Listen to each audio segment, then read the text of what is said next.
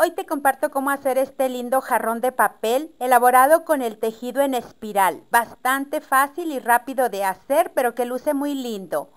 Te comento que al momento que estés mirando este tutorial, yo estaré editando el siguiente, donde hacemos estas bellas orquídeas hechas con el plástico de botellas desechables.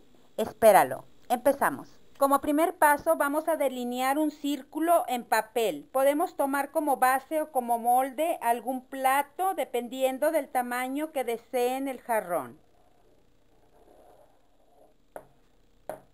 Recortamos. Doblamos a la mitad. Luego nuevamente a la mitad. Y un tercer doblez.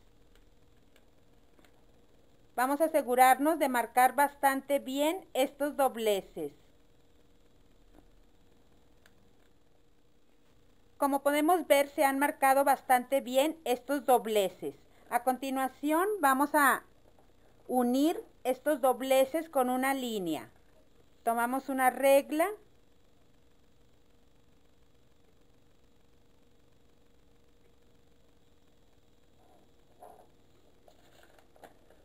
vamos a ir uniendo todas estas líneas donde doblamos de esta manera.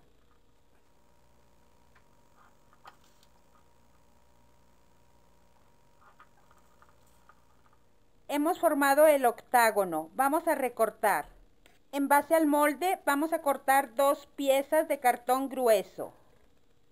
Las varillas de papel que vamos a necesitar no deben de ser ni muy gruesas ni muy angostas. Las hacemos con tiras de papel de 7 centímetros de ancho y un palillo delgado. Pegamos una varilla de papel en cada ángulo del octágono y una más sobre cualquiera de ellas. Esta última, la extra, la vamos a pegar un tanto horizontal. Pegamos la segunda pieza de cartón encima y ponemos un peso encima para que se adhiera bien.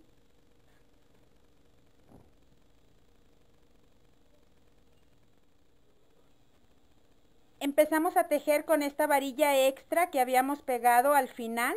Vamos a pasarla por encima de la siguiente varilla. Esta la vamos a levantar y la vamos a pasar hacia, por encima de la siguiente varilla. Esta por donde pasamos solamente acomodamos hacia atrás.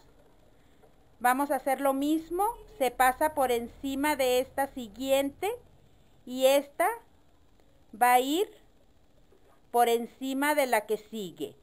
Acordémonos, esta por la que acabamos de pasar siempre hay que acomodarla.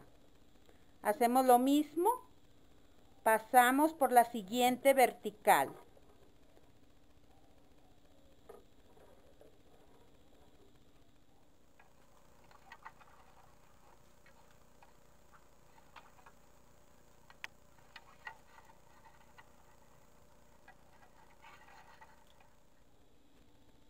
Aquí hemos completado una vuelta pasando por las ocho varillas por encima.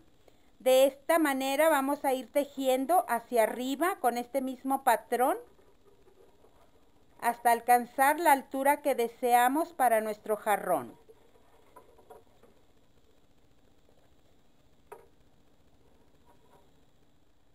Así va quedando nuestro tejido. Continuamos.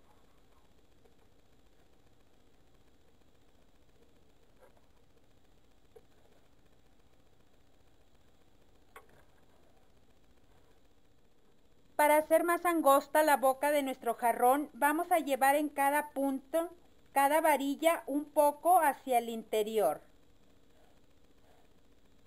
Colocamos aquí por dentro.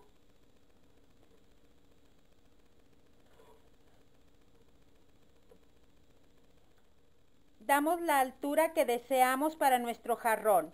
Solamente en las últimas dos vueltas vamos a sellar cada punto poniendo un poco de pegamento aquí donde se une con otra varilla. Ponemos el pegamento aquí, pasamos.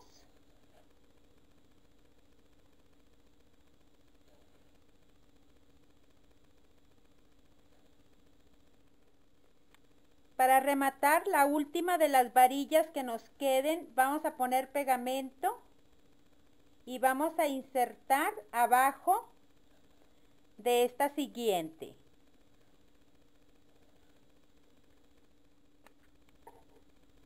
Cortamos las varillas que nos quedaron alrededor.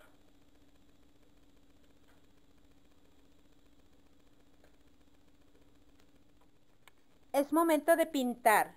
Lo estoy haciendo con pintura vinílica con base de agua, que es la que normalmente uso.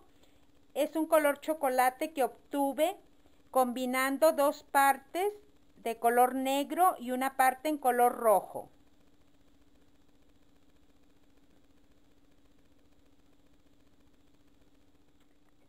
Ya que haya secado la pintura, vamos a dar unos pincelazos con un color Cobrizo es pintura acrílica metálica.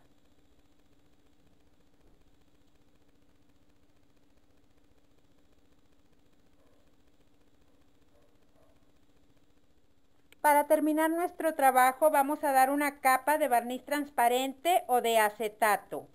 El acetato, como pueden ver, es en apariencia muy similar al pegamento o cola blanca solo que al secar este se vuelve transparente y aporta bastante brillo y dureza a nuestros trabajos. Lo encuentran en tiendas de pintura o en ferretería. Les invito a mi grupo de Facebook Corazón Artesano, donde acabo de subir algunas especificaciones sobre este material. En la caja de información que está abajo de este video les dejo el enlace para que soliciten su ingreso al grupo. Esperando te haya gustado, no olvides suscribirte a mi canal para que estés recibiendo las novedades de mis trabajos. Hasta la próxima.